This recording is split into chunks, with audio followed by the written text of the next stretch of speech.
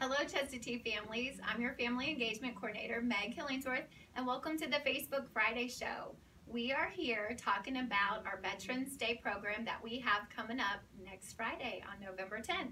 So, Miss Bryant, tell us a little bit about that program. Next Friday, November 10th, we're going to have a Veterans Day program, and at 8:30 in the morning, we're going to have a breakfast in the media center where all veterans and a guest are welcome to attend. We'd love to see you. You may have seen the invitation to go home. If you could, if you're a veteran, fill this part out, the bottom part, and send it back so I have a good number. We can make sure we've got enough breakfast for everybody. And then at 9 o'clock in the cafeteria, we're going to have a program for everybody. All, um, all community members, all, everybody from Chestatee is welcome to come to that. So we hope to see you there. That is great, and I love that you put your email at the bottom of there. So if you need to just send an email to Miss Bryant to RSVP that you have somebody coming to that breakfast, we ran out of food last year because we had such a great turnout. So we just want to make sure that we are prepared. Great green form, Miss Bryant. Thank you. Mm-hmm. Mr. Boyd, you were in our military. I was. I served four years in the United States Marine Corps. So I am really excited. This this is a big day for me. I get to talk just like last year, which is awesome. But we've added two extra people. We got parents and grandparents coming in that want to speak during our Veterans Day ceremony. So we're really excited to have them. We also, when you send in those green forms, send in pictures too. Our children love to see their family, their community, see what they look like when they served all those years ago. Yeah, that is so cool. Well, thank you for your service, Mr. You're welcome. Roper, y'all have been working hard. The Chestatee Chorus has been working really since August, trying to get ready for this program as well as others, and we have a several selections of patriotic songs to sing, including the national anthem. So they'll be starting the program and they'll be ending the program with music. So we are ready to go. That is awesome. Thanks for all that hard work. My goodness. And Miss Penley, tell us about the Live to Give program.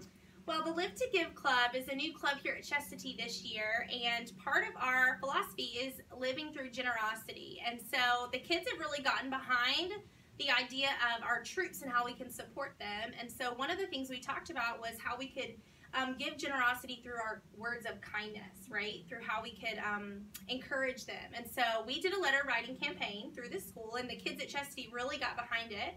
And our goal was to write a thousand letters to the troops that are serving right now. Um, and they really blew us away. We exceeded our goal, and we were able to send those letters in so that every um, member in this member serving overseas um, could receive a letter um, around Thanksgiving, and we partnered with the Bird Show. And so it was really cool, and the Live to Give Club has just taken ownership of that, and it's really just shown the mindset of living with generosity. That is amazing, and we're all a part of it as a Chestatee Absolutely. family, so that's great. Miss Davis. Well, I'm Terry Davis, and I'm one of the sponsors of the Kids for Critters Club. And we decided that not all serving in the military could read because there are canine troops, and so we are having our furry friends. We did a collection of treats to send over to them. Oh, I've seen your bucket. It is quite full. It is overflowing. We've been overwhelmed. Gonna have a lot of happy furry friends. Yes, exactly. and Dr. T, why do we do this at Chestatee? Oh, um, Miss Kay, it is so important for boys and girls to learn about uh, our great country and the men and women that make our country great through service. So I feel very proud that Chestatee can be a part of sharing this amazing story with the boys and girls that go to Chestatee.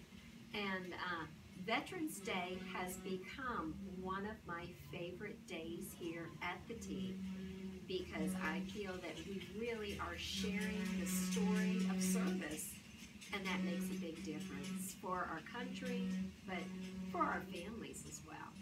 Absolutely. We had such a great response last year to the program. Very neat. It, it was super, and I hope that we can share with our viewers. It definitely check back in and see some of the the songs, some of the speaking that we'll be able to post online. You got it. And so next week we won't have a Facebook Friday show because we'll be showing you parts of the program. So check in next Friday to see um, some of what went on to celebrate our great veterans. So to all our veterans out there watching, we hope you can come out.